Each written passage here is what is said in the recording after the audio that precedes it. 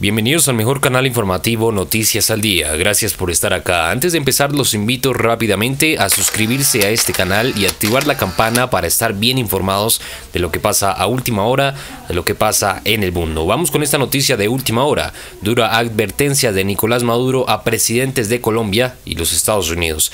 Prometió que los dos se arrepentirán se atentan contra líderes chavistas. El mandatario venezolano Maduro declaró que los Estados Unidos y Colombia se arrepentirán si llegara a proceder contra una docena de titulares de su gobernación, a quienes el territorio norteamericano acusó, junto al mismo Nicolás Maduro, por supuesto lavado de activos. Eh, antes de seguir con esta información, los invito como siempre también a dejar un comentario en este video argumentando frente a toda esta información. Dale me gusta también para apoyar este canal informativo. De antemano muchas gracias y sigamos con esta noticia.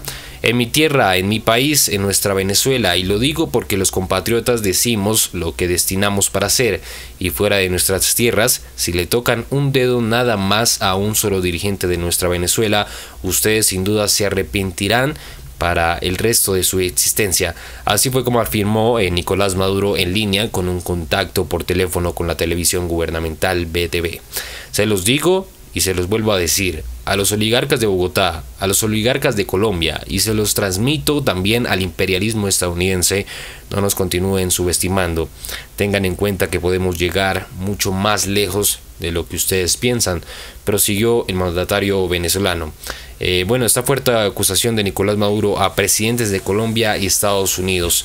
La presidencia de los Estados Unidos ratificó el pasado jueves la acusación contra Nicolás Maduro y 14 de sus más cercanos cómplices, así como contra dos integrantes de la tradicional guerrilla de Colombia FARC por tráfico de drogas y el lavado de activos. Los fiscalizadores de la Florida y de Nueva York donde se anunciaron los cargos, afirmaron que mientras las últimas dos décadas, desde que el fallecido mandatario Hugo Chávez conquistara el poder en 1999, el dirigente venezolano se ha vinculado en una terrible y corrupta conspiración con los guerrilleros de las FARC para exportar la cocaína.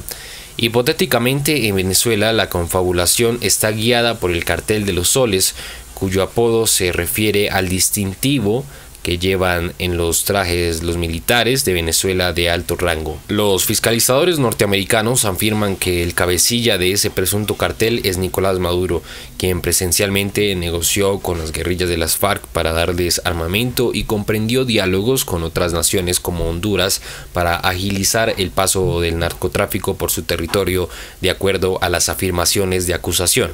Nicolás Maduro ya argumentó el pasado viernes a estas inculpaciones y las tachó como ordinarias y falsas, y hoy acusó que le pondrían a asociar casi que por cualquier cosa menos por tráfico de cocaína. Nosotros en Venezuela queremos paz, dijo sobre el insistente enfrentamiento de su administración con los Estados Unidos. Déjenos que estamos quietos para que luego no estén de arrepentimientos por 300, 500 años, así insistió Nicolás Maduro. ¿Qué opinan ustedes de esta noticia? Nuevamente los invito a suscribirse, activar la campana de notificaciones para estar bien informados y para estar al tanto de lo que pasa a última hora. Recuerden comentar y dejar un me gusta. Muchas gracias por estar acá. Esto es Noticias al